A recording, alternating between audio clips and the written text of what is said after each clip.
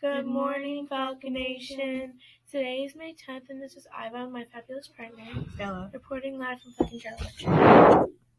So, line players, please report to Mr. Howard's room at 11:40. Bring your lunch. Now it's me, Daniel, Mark, the weather and sports report. Today, today's sports report is about the Detroit Tigers. The Detroit Tigers lose 5-4 over the Cleveland Guardians. Now it's Daniel.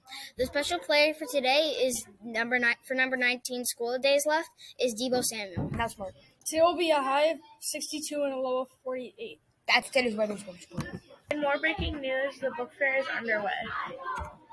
Today's national holidays are National Premier Room Day, National Shift Day, and also this week, this Sunday is Mother's Day. So happy Mother's Day! His birthday is Joanna from Mr. Lamari's class. Happy birthday, Johanna! Happy birthday! Choose confetti pancakes and Monday's lunch is Moscow cheesesteaks. Now please stand and join us in saying the Pledge of Allegiance. I pledge allegiance to the flag of the United States of America and to the republic for which it stands, one nation, under God, indivisible, with liberty and justice for all. Bye, Falcon Nation!